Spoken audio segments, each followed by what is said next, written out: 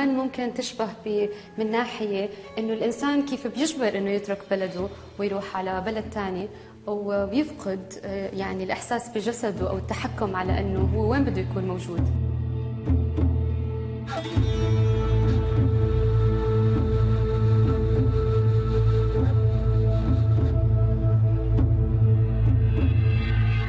الأعمال المعروضة بمعرض أتاكسي هن 22 عمل فني. تم إنتاجهم من بداية 2017 يعني للوقت الحالي. آخر عمل خلص تقريبا قبل تعليق اللوحات بيومين. بقيت عم بشتغل لآخر لحظة لأنه هو عبارة عن عن موضوع مستمر إلى الآن اللي هو العنف والحرب. هلأ أعمال اتاكسيا كل سنة كان في مرحلة أو كل فترة يعني كم شهر كان في مرحلة معينة. مرحلة مثلا كان فيها استخدام الكولاج قليل، المرحلة اللي بعدها صار استخدام الكولاج بجرأة أكثر، دخلت الكاليغرافي باللوحات، صار في تجريد بآخر كم عمل، يعني هن المراحل بس كلهم سوا بيعملوا مجموعة عن نفس الموضوع.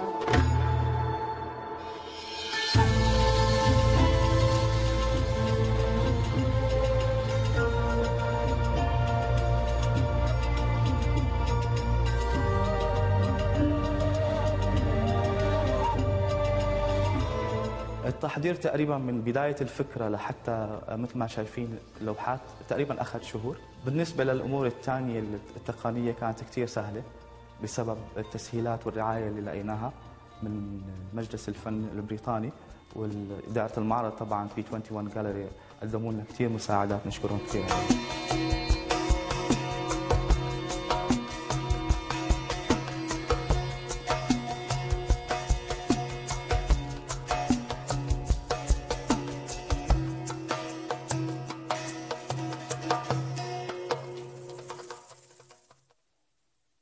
وتنضم معنا عبر خدمة سكايب من لندن الفنانة التشكيلية السورية نور زنطح. أهلا بك معنا. إذا في البداية لو تحدثينا أكثر عن معرض اختلاج وإلى ماذا يرمز هذا الاسم؟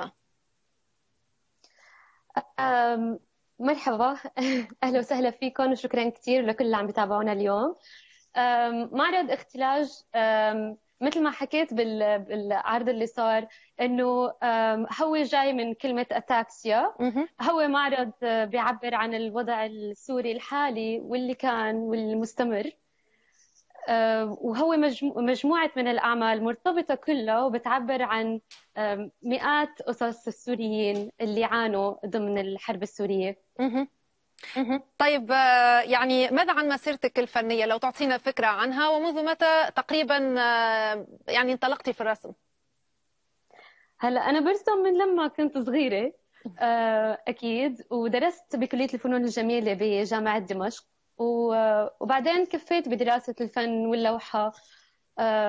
كنت أشتغل لاندسكيبس لما كنت بسوريا وكان عندي اهتمام بإني أستكشف بلدي والشام القديمة والعمارات. بعدين لما سافرت على بريطانيا واستقريت هون وبلشت بدراسة الدكتوراه بال 2016 هون بلش موضوع يعني الحرب والعنف يظهر بلوحاتي.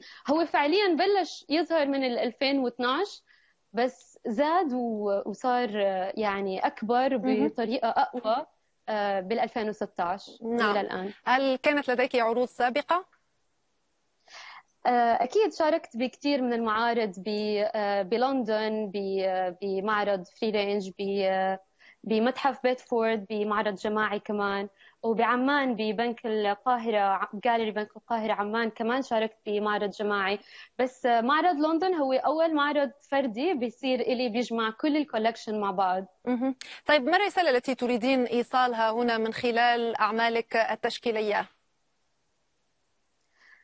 هلا ما فيك تقولي إنه أو ما في أقول إنه رسالة معينة وحدة أو مسج واحد واضح. بس هو أنا بتمنى إنه كل الناس بعيدا عن السياسة وبعيدا عن كل الخلافات وكل وجهات النظر المختلفة بالعالم إنه الفن يقدر يوصل ويخلي الناس يسمعوا أصوات الناس اللي قدر اللي راحوا من سوريا بالعنف وبالحرب الناس المساكين واللي فقدوا أرواحهم يعني للأسف يعني وما انسمعوا أصواتهم. أنا بدي كان كل الناس تقدر تسمع أصواتهم من خلال لوحاتي. كان بدي أعبر عن كل هالناس المظلومة اللي اللي راحت يعني فدا الوطن وفدا يعني سوريا طيب من خلال تجربتك الشخصية عندما يجتمع مشهد الاغتراب مع مشهد الثورة السورية كيف يمكن أن يؤثر هذا على أعمال الفنان أو الفنان وأعماله؟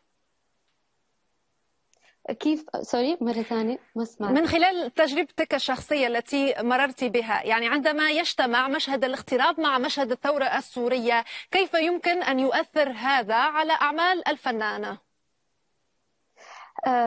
هلا هو أثر أكيد بطريقة كبيرة خاصة إنه وقت كنت بأول بال 2011 بسوريا كانوا الأشياء عم بتصير قدامي كإنسانة وكفنانة بس لما أنا سافرت وصرت ب يعني ببريطانيا هون صار الموضوع عم يوصلني عن طريق الصورة أكثر فصرت عم عم حس إنه هاي الصورة هي صلة الوصل أو هو الخيط اللي بيربطني ببلدي خيط اللي بيربطني ب... ب... بالناس اللي هناك عايشة. عم بسمع أصواتهم عن طريق الصورة وعن طريق التليفون وال social media والهيك. أثر بطريقة كثير كبيرة. فما بدي أقول بس سلبي بس أثر بطريقة انها انتجت كل هاي الأعمال الفنية اللي عندي. هل تغيرت يعني تقريبا طريقة رسمك من قبل 2011 أكيد. آه، قبل 2011 كنت كثير أحب استخدم الكولاج بلوحاتي. كان في شيء بيجذبني له كثير تقنيه الكولاج مثلا بس آه، وقت بلشت بموضوع العنف والحرب يعني أتعمق أكثر فيه باللوحة. آه، انقلب الموضوع كثير صار موضوع استخدام الصورة ليس بس كلون وككولاج وكملمس لا بالعكس صار الموضوع إني عم حرر هاي الصورة والأشكال الموجودة باللوحة وأعطيها حيز كبير لتقدر يعني تعبر أو أو توصل أكثر شكرا لك الفنانة التشكيلية السورية نور زنطح